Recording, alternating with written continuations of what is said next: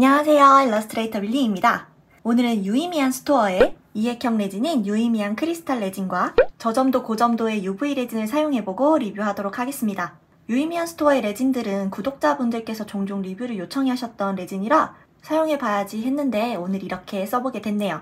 일단 케이스 디자인이 예뻐서 마음에 드는데요. 우선 이액형 레진을 보니까 주제가 굉장히 푸른빛이 도는 게 깨끗하고 투명한 작업을 하기에 좋을 것 같은 느낌이에요. 그럼 사용해 보면서 어떤지 한번 보겠습니다. 유의미한 스토어의 레진들을 사용해서 오늘 만들어 볼 것은 8개의 더블 쉐이커를 만들 수 있는 이 몰드를 사용해서 여러 가지 더블 쉐이커들을 만들어 볼게요. 그럼 만들기 시작할게요.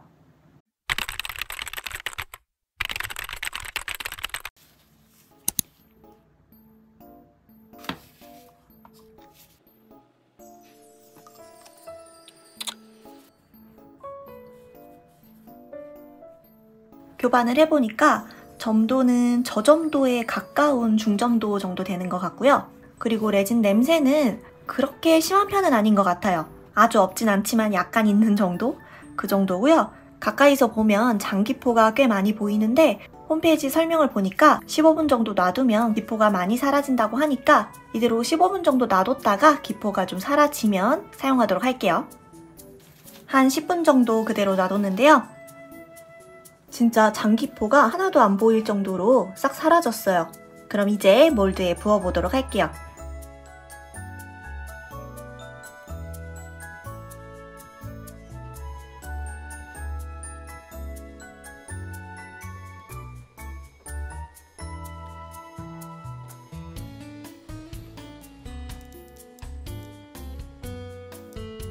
경화 시간은 두께가 얇으면 6시간 정도 걸리고 두꺼우면 두꺼울수록 24시간, 48시간까지도 걸린다고 하더라고요. 그러니까 일단 이대로 경화를 한번 시켜볼게요. 24시간 정도 놔뒀더니 거의 다 굳었네요. 그럼 타령해볼게요.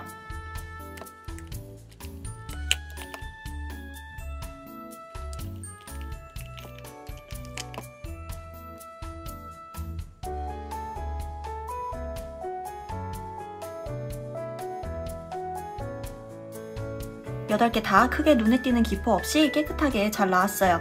노란기 없이 엄청 깨끗하고 투명한 색이네요. 더블 쉐이커라서 두 쪽 다 액체를 넣고 워터 쉐이커로도 만들 수 있고 그냥 소리가 나는 쉐이커로도 만들 수 있고 다양한 방법의 쉐이커를 만들 수 있는데요. 유의미한 레진에 조색제를 섞어서 사용해 보기도 해야 되니까 이 바깥쪽 라인은 조색을 해서 채워주도록 할게요.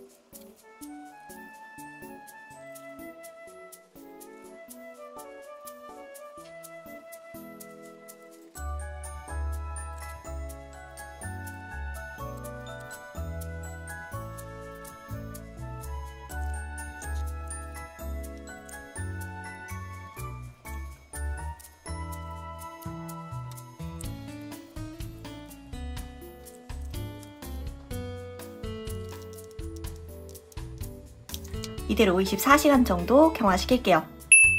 테두리 안에 넣은 레진들도 아주 잘 굳었어요. 달 모양의 쉐이커는 핑크색이랑 연 보라색이 밑으로 가라앉아서 본의 아니게 양면으로 투턴이 돼버렸는데 이것도 나름 예뻐서 그냥 이대로 사용할게요. 그럼 이제 이 윗면을 막아줄 OHP 필름들을 잘라주고 안에 파츠들을 채울게요.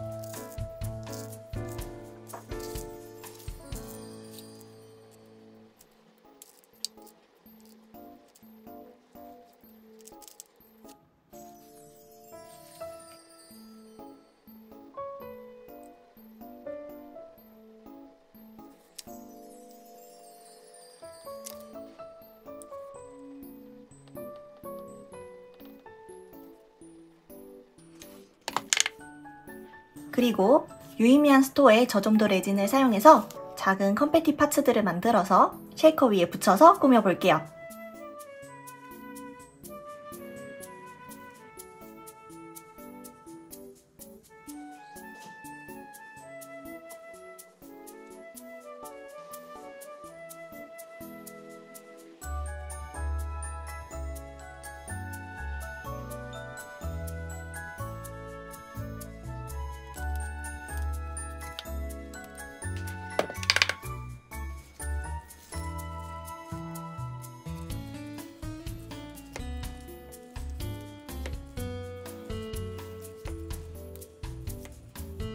한 3분 정도 curing 했는데 금방 단단하게 잘 굳네요.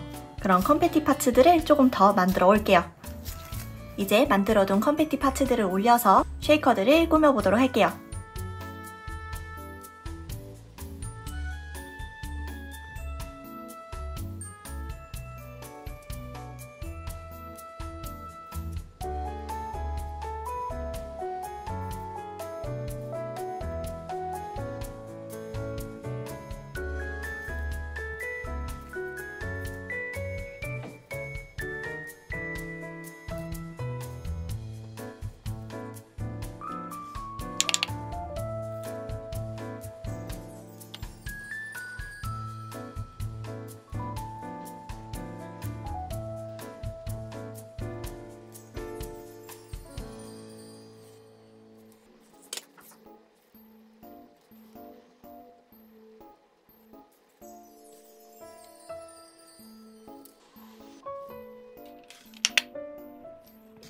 도밍은 반은 이액형 레진으로 해주고 반은 고점도 UV 레진을 사용해서 해볼게요.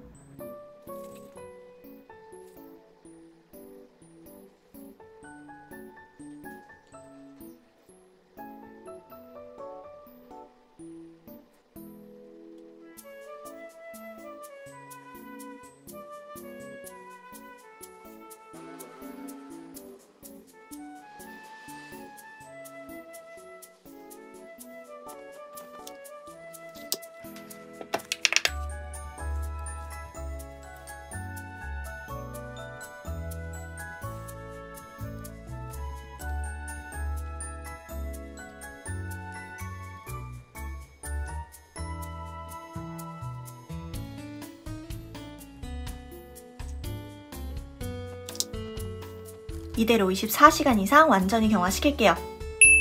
이제 키링 달고 마무리할게요.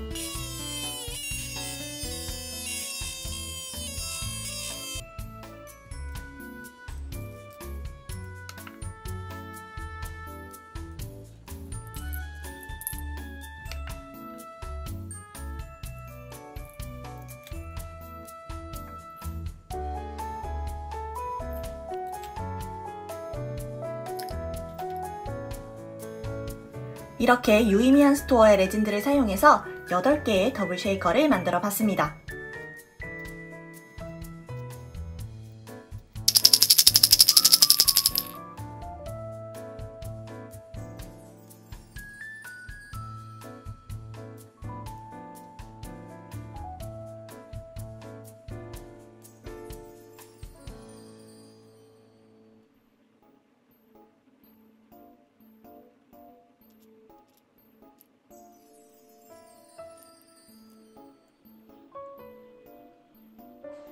우선 이액형 레진은 요즘 경화 시간이 짧은 편인 레진들을 위주로 사용했더니 경화 시간이 좀 길게 느껴지긴 하는데요.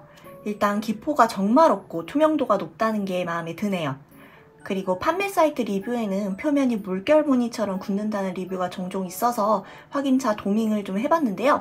저는 딱히 보이지 않네요. 넓은 면적에 평평하게 부어서 경화를 시켜보면 더 잘 알 수 있을 것 같아서 그것도 곧 테스트 해보겠습니다. 아무튼 유의미한 이액형 레진은 무난하게 사용하기 좋은 레진인 것 같고요. 제가 특히 마음에 드는 건 이 UV 레진들이에요. 우선 끈적임 없이 curing도 굉장히 잘 되는 게 마음에 들고 수축 현상도 없고 기포 제거도 잘 되고 해서 사용감이 너무 마음에 들어요. 저 점도 고 점도 다 괜찮네요. 케이스가 예뻐서 계속 써봐야지 했던 레진들인데 사용해보니까 더 괜찮은 레진들을 찾게 돼서 신납니다. 특히 괜찮은 UV 레진 찾으시는 분들에게 유의미한 스토어의 UV 레진들 추천할게요. 그럼 오늘 영상도 끝까지 봐주셔서 감사하고요. 저는 또 다음에 예쁜 작품 가지고 올게요. 그럼 다음 영상에서 만나요. 안녕!